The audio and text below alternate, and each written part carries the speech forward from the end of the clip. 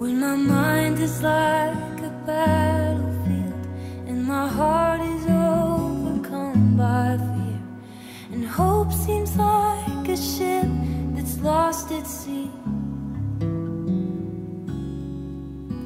My enemies on every side, and I'm tempted to run and hide. Your gentle whisper reaches out to me.